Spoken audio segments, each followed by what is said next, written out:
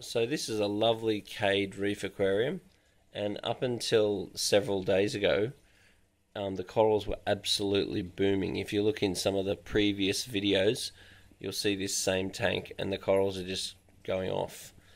And then the last few days, the corals just have taken a huge turn for the worst.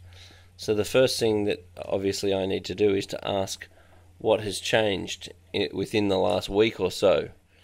And there certainly is something that's changed. The addition of a dog face puffer.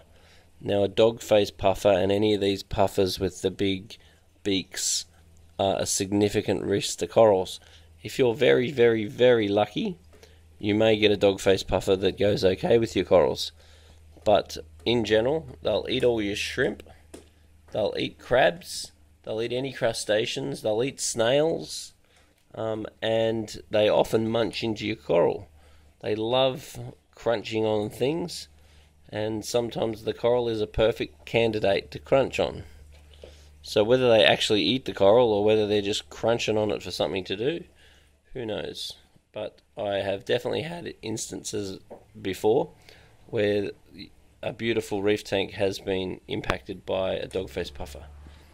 So the long and short of it is be very wary putting any sort of beaked or um, long snouted fish in your aquarium. Let's see if he does it right in front of us. That wasn't officially a bite, but that's all it takes for him to run past and bite it. With that big beak he's got, he can do a lot of damage. And it just needs to be a little bite here and a bite there just to really throw your corals out.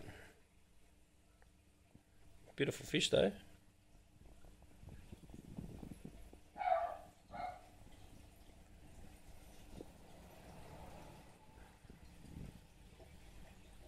Awesome to watch.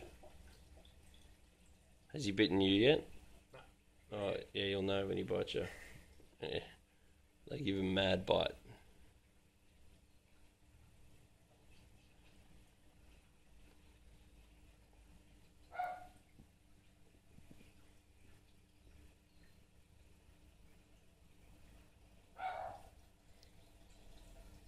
I'd probably feed the fish up just a little bit more too.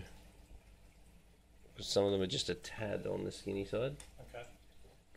Like this wrasse is just a tad skinny. The tang is just a tad skinny. So I'd, I'd probably just start feeding them up a little bit more.